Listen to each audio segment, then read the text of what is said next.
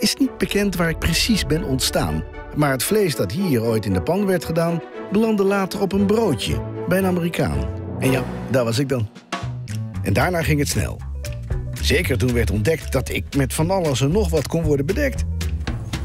En dat ik de wereld blijkbaar inspireer.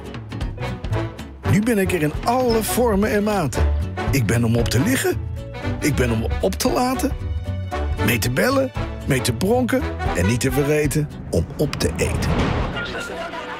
Uit liefde voor de hamburger presenteert McDonald's vol trots de Maestro Burger. Wauw, ik krijg gewoon zin in mezelf.